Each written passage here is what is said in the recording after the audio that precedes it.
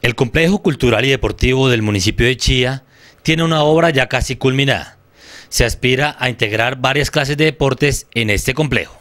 Sí, ya se concluyó como digamos la, primera etapa, donde quedó ya un escenario cubierto, una parte no del todo terminada porque pues realmente los recursos no alcanzaron.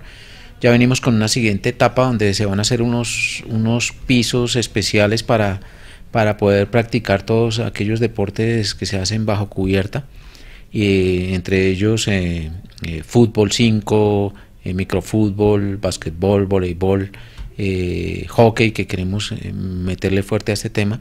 Y en este momento ya se puede utilizar para todo lo que son actividades de tipo cultural y artístico, porque ya el escenario está cubierto, está adecuado y ya puede empezar a funcionar en este atendiendo esta, esta actividad.